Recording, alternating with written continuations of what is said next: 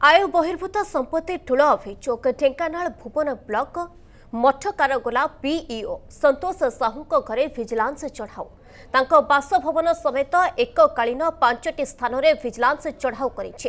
ଡିଏସ୍ପିଙ୍କ ନେତୃତ୍ୱରେ ସାତ ଜଣ ଆଇଆଇସି ଚଢ଼ାଉ କରୁଛନ୍ତି ଚଢ଼ାଉ ବେଳେ ଗୋଟିଏ ତିନି ମହଲା କୋଠା ଓ ଦୁଇଟି ଏକ ମହଲା କୋଠା ଠାବ କରାଯାଇଛି